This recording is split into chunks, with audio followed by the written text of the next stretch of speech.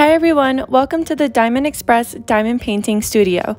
Today I'll be showing you how to seal and frame your diamond painting. First you will need a rag that you don't mind getting dirty, a paintbrush, and Mod Podge gloss sealant.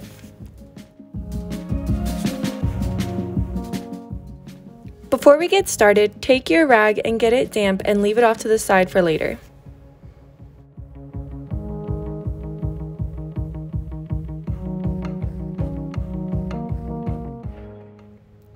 Then, take a generous amount of Mod Podge and start putting it all over the canvas. It does not need to look perfect and it does not need to be evenly spread. The most important part is that it gets in between each cracks of the diamonds.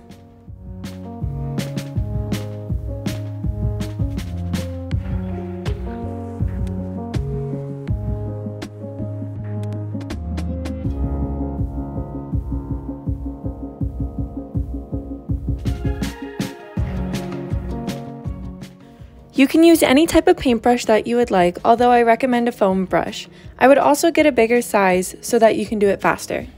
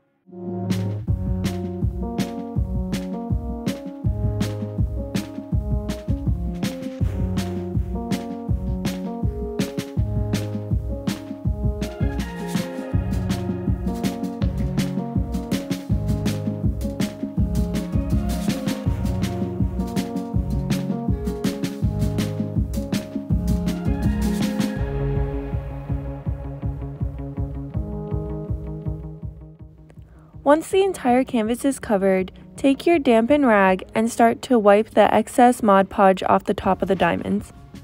Make sure to be very gentle while doing this so that you don't pull off any of the diamonds.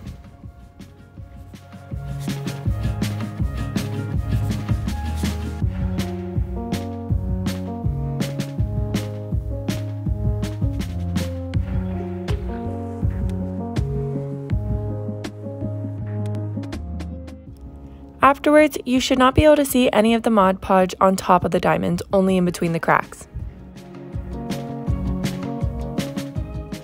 After letting it dry for at least two hours, we can begin the framing process. First, you will need to cut off all of the edges from the canvas. Try to get it as close to the diamonds as possible without cutting of them off. It doesn't need to be perfect.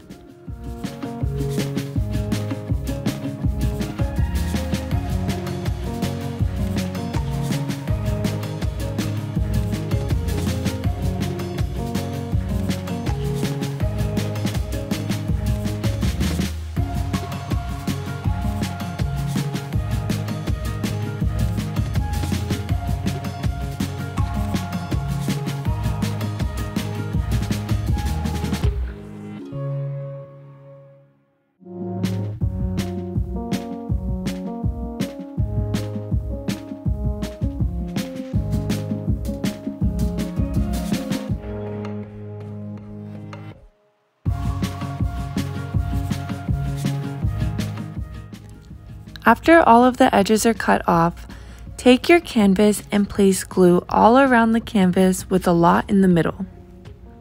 For this particular canvas, I am using Elmer's School Glue, but tacky glue and hot glue also work well.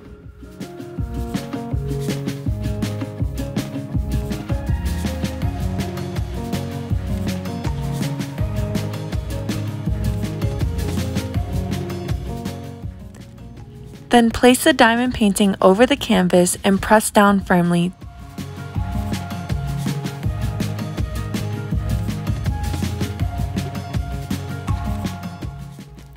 If you need to, add more glue along the corners and edges.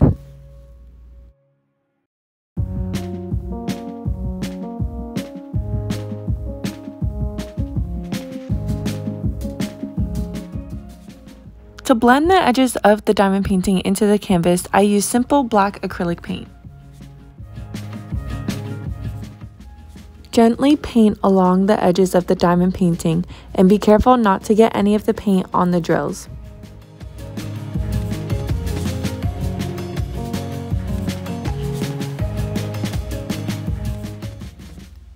After that, you're all done.